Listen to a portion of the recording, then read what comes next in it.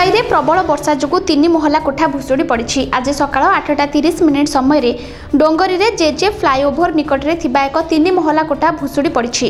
ଭଙ୍ଗା କୋଠା ତଳେ ଅନେକ ଲୋକ ଚାପି ହୋଇଥିବା ସନ୍ଦେହ କରାଯାଉଛି।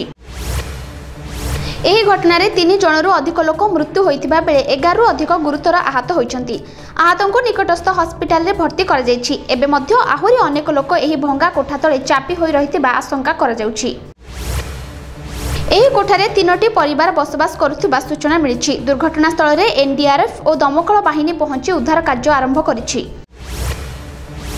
ଗଞ୍ଜାମ ଜିଲ୍ଲା ତାରସିଂ ଥାନା କ୍ଷେତ୍ରମୁଣ୍ଡଳୀ ପଞ୍ଚାୟତର ଗ୍ରାମ ଦେବତୀ ଗ୍ରାମରେ ଉପେନ୍ଦ୍ର ଜାନି ହତ୍ୟାକାଣ୍ଡରେ ତିନି ଅଭିଯୁକ୍ତ ଗିରଫ ହୋଇ କୋର୍ଟ ଚାଲାଣ କରାଯାଇଥିବା ଏସ୍ଡିପିଓ ଉତ୍କଳ କେଶରୀ ଦାସ ସାମ୍ବାଦିକ ସମ୍ମିଳନୀରେ ପ୍ରକାଶ କରିଛନ୍ତି। ହତ୍ୟାକାଣ୍ଡରେ ଜଡ଼ିତ ଥିବା ଅନ୍ୟ ଦୁଇ ଅଭିଯୁକ୍ତଙ୍କୁ ଅତିଶୀଘ୍ର ଧରାଯିବ ବୋଲି ଏସ୍ଡିପିଓ ପ୍ରକାଶ କରିଛନ୍ତି।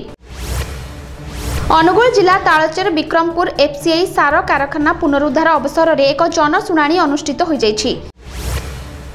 Fertilizer corporation of India coal India limited GAIL India limited ଏବଂ ରାଷ୍ଟ୍ରୀୟ କେମିକାଲ୍ସ ଓ ଫର୍ଟିଲାଇଜରର ମିଳିତ ସହଯୋଗରେ ପୁନରୁଦ୍ଧାର ହେବାକୁ ଯାଉଛି ଏହି ସାର କାରଖାନା। ଶିବିରରେ ସାତରୁ ଆଠଟି ପଞ୍ଚାୟତ ଯୋଗ ଦେଇଥିବା ବେଳେ ଏହି ଫ୍ଲାଟ୍ ପ୍ରତିଷ୍ଠା ଦ୍ୱାରା ପରିବେଶ ଉପରେ କ'ଣ ପ୍ରଭାବ ପଡ଼ିବ ନେଇ ଆଲୋଚନା ହୋଇଥିଲା।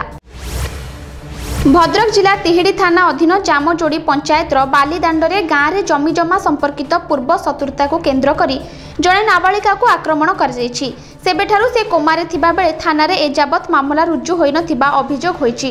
ପୂର୍ବ ଶତ୍ରୁତାକୁ କେନ୍ଦ୍ର କରି ଅପରପକ୍ଷ ତାକୁ ଗଣେଶ ପୂଜା ଦିନ ମରଣାତ୍ମକ ଆକ୍ରମଣ କରିଥିଲେ।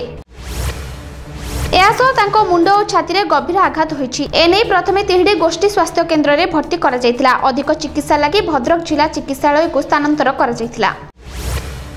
ବୁଧବାର ସନ୍ଧ୍ୟାରେ ପରିବାର ଲୋକେ ଘରକୁ ନ ନେଇ ମଙ୍ଗଳବାର ସନ୍ଧ୍ୟାରେ ତିହିଡ଼ି ଥାନା ବାରଣ୍ଡାରେ ଶୁଆଇ ଦେଇ ନ୍ୟାୟ ଭିକ୍ଷା କରିଥିଲେ।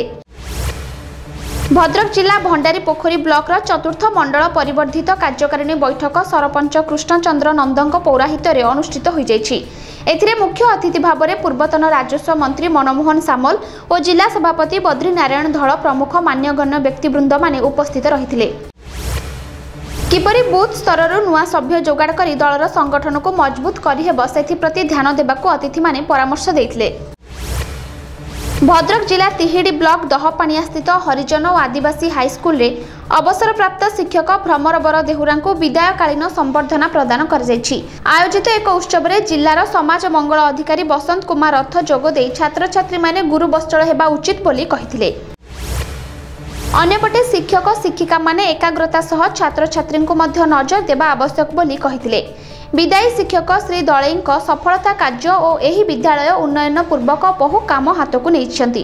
ଅନ୍ତେବାସୀ ପିଲାଙ୍କର ସମସ୍ତ ଦାୟିତ୍ୱ ନେଇ ଚିରସ୍ମରଣୀୟ ହୋଇଯାଇଥିବା ଅଭିଭାବକ ଓ ଛାତ୍ରଛାତ୍ରୀମାନେ ବକ୍ତବ୍ୟ ଦେଇଥିଲେ।